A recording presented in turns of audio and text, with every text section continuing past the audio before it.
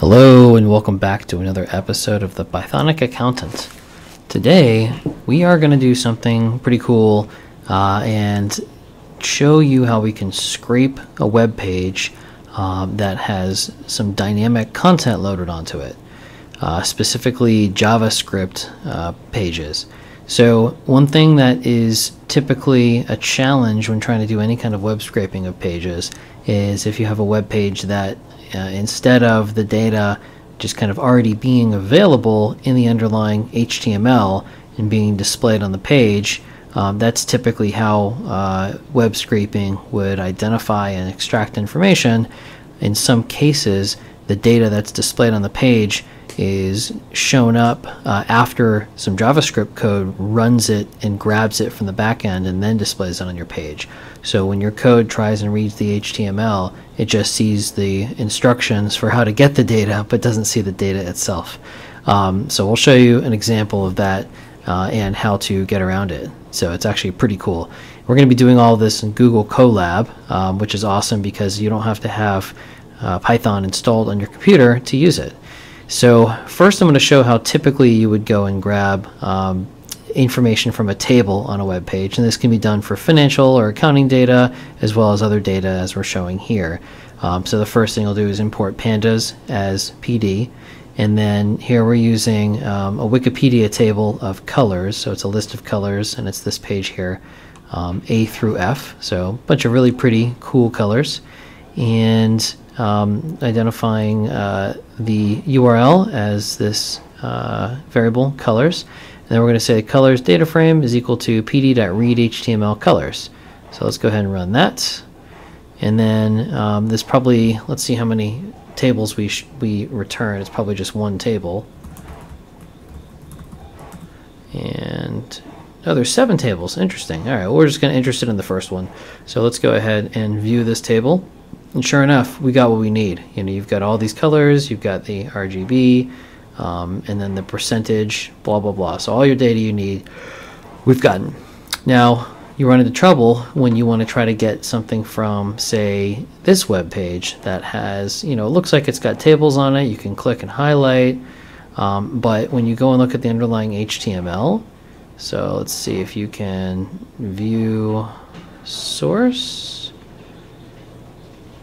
you'll see it's actually pretty short compared to, um, it's a lot of HTML, but if I try and find some of the data from this table, uh, for example, let's see if I can even find the word ton. I'm not even sure if it's on here.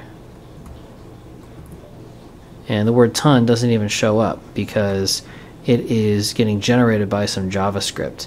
So um, don't want to spend too much time trying to find it, but there's somewhere in here that says, hey, the, there's going to be a table here that I don't have any data for it yet, but I want you to create the table uh, using my JavaScript information. So what we're going to do is we're going to use something called Selenium, which is a web page automation software, and uh, it's open source and it's easy to use in Python. And uh, we're going to use what's called a headless version of Selenium. So typically the use of Selenium is to pop open a web page on your computer and control its actions. But what's really cool is you can have Selenium run in the background without any screen showing up, but it will still um, run it and it'll still like generate the content of the page as if you were running it. So instead of looking at the un, um, you know, the original HTML, it'll generate what the actual updated HTML looks like, even though it won't show the page. So the way to do that here is first um, we have to install Selenium. So the way to do that is to install Selenium. We're also going to install something called Beautiful Soup. Um, next is, since this is running on a Linux machine, you have to do uh, this code here, apt-get update. And the exclamation mark basically just allows you to access the uh, command prompt, but you know behind the hood and then apt-get update just make sure it updates the package list. So when we go and install chromium chrome driver it updates uh, and installs the correct version. So we're going to install that now and I already have it installed so we're good. Now we're going to import what we need. So selenium we're going to grab WebDriver we're going to import beautiful soup we already have pandas. Um, these are really important. These are setting up options to tell it that we want it to be headless and a couple of other options that are critical for it to actually work properly. and generate the uh, dynamic content. So here we're going to give it the site that we're looking at, which is this one here. And then um, now we're going to set up the WebDriver. So WD is the WebDriver, and we're using Chrome driver, and we're using the options that we gave it up here. And then we're going to go ahead and get the website that we need. And now we'll have this WD available to us. And what it does is it's already generated the, the updated code, the updated HTML. So now I'm going to say, okay, let me grab that HTML. So this is the, the HTML from the page source. Then we're going to load that into a data frame. So now we've got data frame is read HTML from HTML. So doing the same thing we tried doing before, but now we're doing it after Selenium has tried to generate what the content should be on the page. And I already know we're in good shape because before when we tried to do that, it errored out and said, you know, hey, warning, uh, there's no tables here. And actually, I didn't even run it, so this is what it would do. There's the page we're trying to get. Here's what we would see if we tried to run it without doing any of our magic. It's going to say, uh-oh, no tables found. That's not good.